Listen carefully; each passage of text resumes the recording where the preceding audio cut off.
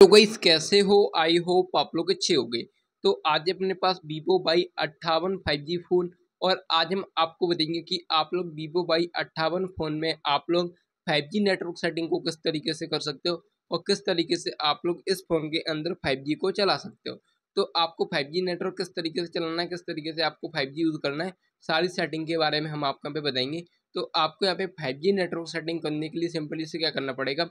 आपको सिंपली अपने फ़ोन के सेटिंग ऐप में आना है। तो मैं यहाँ पे अपने फ़ोन के सेटिंग ऐप में आ जाता हूँ। जैसे ही आप लोग अपने फ़ोन के सेटिंग ऐप में आओगे तो आपके सामने यहाँ पे कुछ इस तरह का इंटरफेस है, वो दिखाई देगा।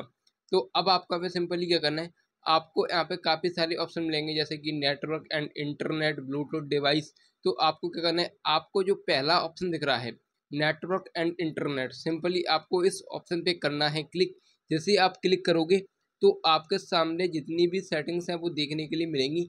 तो अब आपको यहाँ पे क्या करना है? आपको यहाँ पे एक ऑप्शन मिलता है sim card and mobile network तो सिंपली से आपको sim card and mobile network के ऑप्शन पे क्लिक करना है।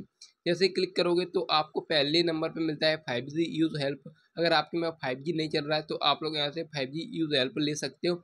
उसके बाद में आपको किस तरीके से फाइव जी एक्टिव करना है वो मैं आपको बता देता हूँ।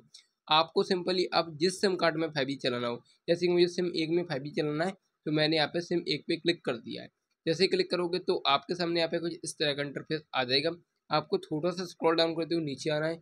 आपको यहाँ पे एक ऑप्शन मिलता है प्रिपेड नेटवर्क टाइप। तो आपको सिंपली प्रिपेड नेटवर्क टाइप के ऑप्शन पे क्लिक करना है। अगर ये फोर जी पे सिलेक्ट है तो सिंपली इसे फोर जी से उठा के फाइव जी पे सिलेक्ट कर देना है। मैंने इसे पहले ही कर रखा है तो आपको सिंपली फाइव जी पे सिलेक्ट कर देना है। उसके बाद आपको थोड़े से स्क्रॉल डाउन करते हुए नीचे आना है। आपको यहाँ पे फाइव जी नेटवर्क मोड का ऑप्शन मिलता है।